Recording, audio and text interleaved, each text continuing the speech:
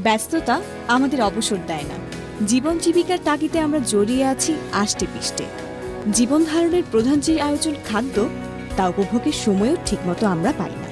আর বাজার সদাইয়ের সময় তো আরও কম, তাই সপ্তাহের বাজার একবারে করে আমরা সংরক্ষণ করি ফ্রিজারে। আর আমাদের প্রয়োজন মেটাতে ওয়ালটন নিয়ে এলো, বিশ্বের সর্বাধুনিক প্রযুক্তি ও যন্ত্রপাতি দিয়ে তৈরি ওয়ালটন ফ্রিজার। ওয়ালটন ফ্রিজার আপনাকে নিশ্চিত করবে অভিনব প্রযুক্তি, নির্ভরশীল কর্মদক্ষতা, প্রয়োজনীয় ধারণ ক্ষমতা, আকর্ষণীয় ডিজাইন এবং রুচিশীল বিভিন্ন মডেল।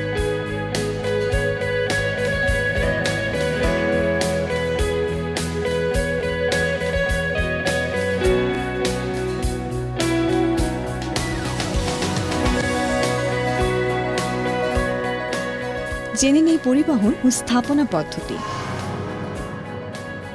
শোরুম থেকে যথাসম্ভব সোজা করে শক্ত করে বেঁধে ভ্যান বা গাড়িতে ফ্রিজার ওঠাতে হবে, যাতে কোনোভাবেই বেশি ঝাঁকুনি না লাগে।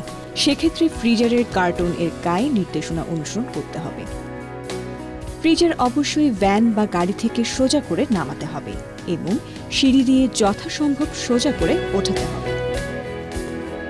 ভালোভাবে বায়ু চলাচল করে এরকম একটি শুকনো কক্ষে ফ্রিজারটি যথাসম্ভব সমতল স্থানে সোজা করে মজবুত পৃষ্ঠের উপর স্থাপন করুন। স্যাঁতস্যাঁতে কক্ষে ফ্রিজার রাখা থেকে বিরত থাকা উচিত।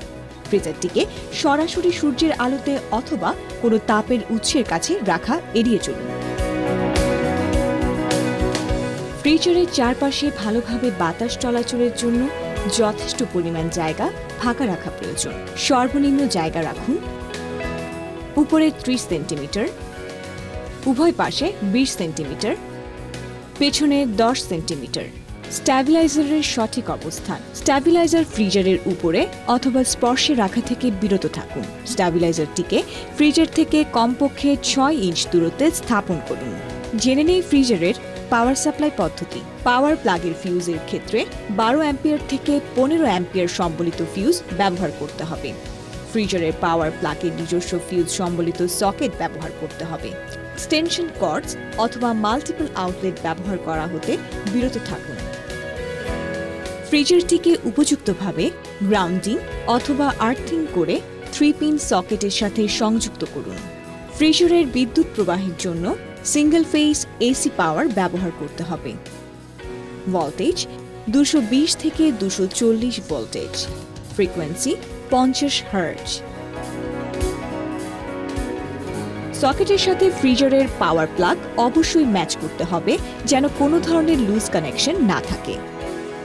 জেনে নেই ফ্রিজার ব্যবহারের কিছু দিক নির্দেশনা।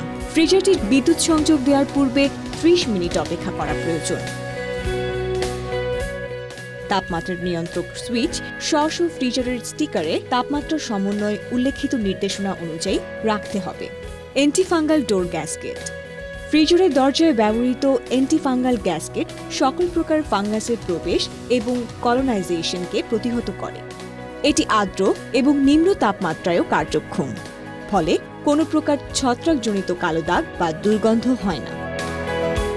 গরম খাবার ফ্রিজারের কম্পার্টমেন্টে রাখার পূর্বে অবশ্যই রুম টেম্পারেচারে ঠান্ডা করে নিতে হবে। অন্যথায় ফ্রিজারের ভেতরের তাপমাত্রা এবং বিদ্যুৎ ব্যয় বেড়ে যাবে। বরফ তৈরির কেসটি একটু বাঁকালেই বরফের টুকরোগুলো বের হয়ে আসবে। এটিকে উপরের দিকে বা নিচের দিকে বাঁকাবেন না, তাহলে এটি ভেঙে যেতে পারে। ব্যবহারের সাবধানতা। যত বেশি খাদ্যদ্রব্য ফ্রিজারে রাখা হবে, যত বেশি ফ্রিজারের দরজা খোলা হবে এবং দরজা খোলা যত বেশিক্ষণ থাকবে, তত বেশি বিদ্যুৎ খরচ হবে। সাথে সাথে ত্রুটিরও সম্ভাবনা থাকে।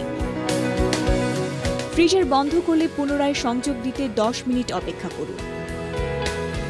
ফ্রিজারের উপর ভারী, তীক্ষ্ণ এবং ক্ষয়কারী কোনো বস্তু রাখবেন না। তীক্ষ্ণ ধারের কোনো যন্ত্র দিয়ে ফ্রিজারে আঁচড় দিবেন না অথবা বরফ তাড়াতাড়ি গলিয়ে ফেলতে কোনো মেকানিক্যাল মেশিন ব্যবহার করবেন না। এতে ফ্রিজার লিকেজ হয়ে ফ্রিজারের ঠান্ডা করার কাজ ব্যাহত করতে পারে। দাহ্য দ্রব্যসমূহ যেমন ইথার, বেনজিন, এলপি গ্যাস, আঠা ইত্যাদি কখনো ফ্রিজারের ভেতর রাখবেন না। গ্যাসের চুলা অথবা গ্যাস সিলিন্ডার থেকে যখন গ্যাস লিক করে, তখন ফ্রিজারের প্লাগ খুলবেন না বা লাগাবেন না। কারণ এতে অগ্নিস্ফুলিং এর সৃষ্টি হয়ে আগুন লাগতে পারে। ফ্রিজারের উপরে কখনো পানি ছিটাবেন না। এতে ফ্রিজারের গায়ে মরিচা পড়ার সূত্রপাত হতে পারে বা ইলেকট্রিক শকের কারণ হতে পারে। দেখে নেই কীভাবে রক্ষণাবেক্ষণ করব। রক্ষণাবেক্ষণ। ফ্রিজার পরিষ্কারের সময় ইলেকট্রিক পাওয়ার প্লাগটি খুলে ফেলুন। তারপর ফ্রিজারের ভেতরে ডিশ ওয়াশিং ডিটারজেন্ট, পাউডার অথবা লিকুইড নর্মাল পানিতে মিশিয়ে সুতি কাপড় দিয়ে ভালোভাবে পরিষ্কার করতে হবে। ডিটারজেন্ট দিয়ে পরিষ্কার করার পর শুকনো সুতি কাপড় দিয়ে ভালোভাবে মুছে ফেলুন। ফ্রিজারটি যদি অনেকদিন অব্যবহৃত অবস্থায় রাখতে হয়, তবে ফ্রিজারের পাওয়ার প্লাগ খুলে ফেলুন। তারপর ইন্টেরিয়র কম্পার্টমেন্টটি পরিষ্কার করে ও শুকিয়ে নিন। তারপর শক্তভাবে দরজাটি আটকিয়ে দিন। দরজার গ্যাসকেট খুব সহজেই ময়লা ও স্যাঁতসেঁতে হয়ে যায়। তাই এটি মাঝে মধ্যে পরিষ্কার করা উচিত। জেনে নেই কিছু বিষয় যা ফ্রিজারের কোনো ত্রুটি নয়। ফ্রিজার চলাকালে ফ্রিজারের দুই পাশ এবং পিছনে গরম হতে পারে, কিন্তু তা এর স্বাভাবিক কর্মকে ব্যাহত করে না। আপনার ফ্রিজারের অংশ ঠান্ডা হতে কিছু সময় লাগতেই পারে। এটা অস্বাভাবিক কিছু নয়। যদি আবহাওয়া গরম থাকে ফ্রিজার রাখার স্থানে বায়ু চলাচল কম থাকে, ফ্রিজারে বেশি পরিমাণ নতুন খাবার বা গরম খাবার রাখা হয়, বেশি বেশি দরজা খোলা হয়, বেশিক্ষণ ইলেকট্রিসিটি বন্ধ থাকে, ইত্যাদি কারণে ফ্রিজার ঠান্ডা হতে বেশ সময় লাগে। এটা খুবই স্বাভাবিক যে ফ্রিজ চলাকালে কম্প্রেসার গরম হবে, তবে এটা হাত দিয়ে ধরা যাবে না।